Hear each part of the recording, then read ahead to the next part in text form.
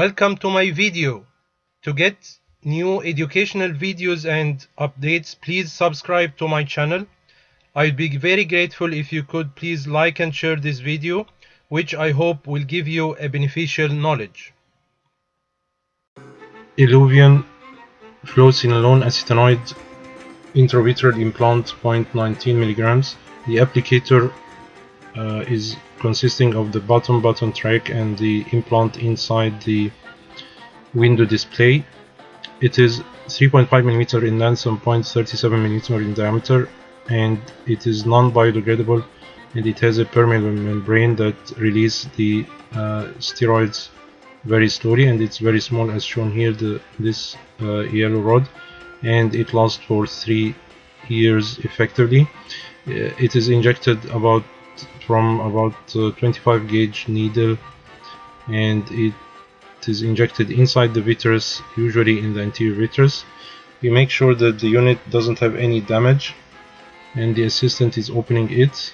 We make sure that the implant is inside the window display as shown here.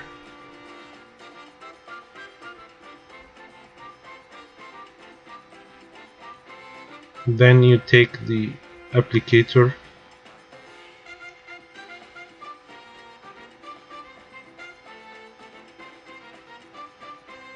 Then we slide the button forward to the first stop at the black lines on the button track and keep the cap on.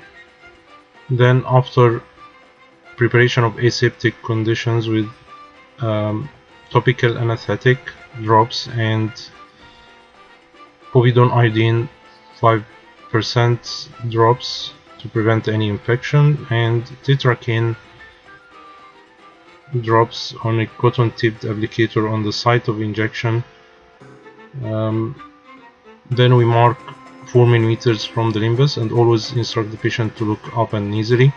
Then remove the tip and make sure that the needle doesn't have any damage keep the implant always horizontal till we inject and then change the direction perpendicular to the sclera. Then you push the button till the end.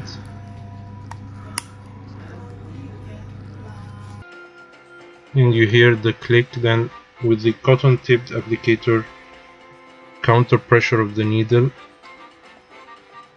to move the opening of the conjunctiva from the opening of the sclera then antibiotic drops and you continue for topical antibiotics for one week. We check the vision to exclude any central retinal artery occlusion. Then we examine the eye to check the implant. Sometimes it is in the anterior vitreous as shown in this case with this white arrow pointing on the yellow rod which is our implant.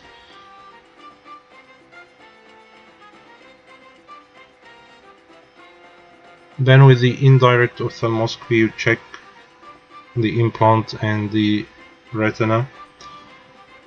The implant is the yellow rod in the lower part of the vitreous here it is in the upper part of the lens.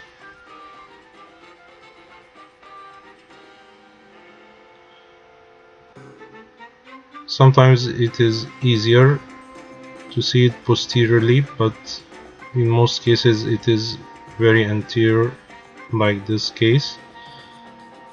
You see here at the tip of the arrow here this yellow rod as shown here. Then we review the patient in six weeks to check the intraocular pressure then every three months. This is a case of uh, chronic diabetic macular edema that um, the vision was 624 before injections and after six months the vision is 69 and the intraocular pressure is uh, controlled not uh, having any problems with the uh, pressure. Make sure that the posterior capsule is intact before this injection because it is very toxic to the corneal endothelium if it uh, goes in the anterior chamber and make sure if the patient have YAG laser posterior capsulotomy that the opening is um, inside the optic to avoid any migration of the implant. The NICE guidelines, which is the National Institute of Clinical Excellence uh, in UK, is recommending this implant in chronic diabetic uh, pseudophakic visually impairing macular edema that is insufficiently responsive to other available therapies. And in cases of um, relapsing uh, recurrent non-infectious uveitis in the posterior segment.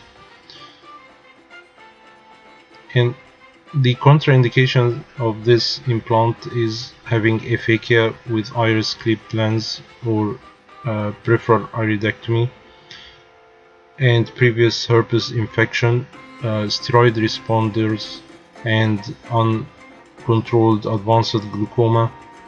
And if there is any uh, infections like toxoplasmosis in the posterior segment so exclude any infections thank you. for watching